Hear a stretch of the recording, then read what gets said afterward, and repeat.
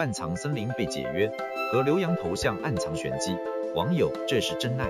刘洋的出轨对象还是阿庆认识的朋友。阿庆在叙述中表示自己一直在为自己和刘洋结婚做准备，甚至已经买好了婚房，就等着刘洋求婚了。而刘洋却背着他出轨了共同的朋友半藏森林，这样的事情相信对任何人来说都是一个不小的打击。好友称有人在杭州见到了刘洋和半藏森林一同逛街，安置两人的爱居。还有消息称，两人的公关都是半藏森林的公司所为。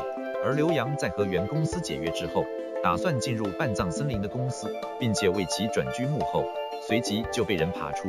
半藏森林的头像就是截取自刘洋背景图的一角，而刘洋这张图片则是刘洋和半藏森林一起在首尔的时候拍的，示爱之心可见一斑。而今天，半藏森林出于舆论的压力，也公开表示了在事发之后就已经与半藏森林解约了，等于刘洋和半藏森林都成功事业。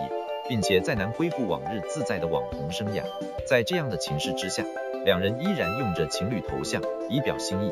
有网友戏称这是真爱了。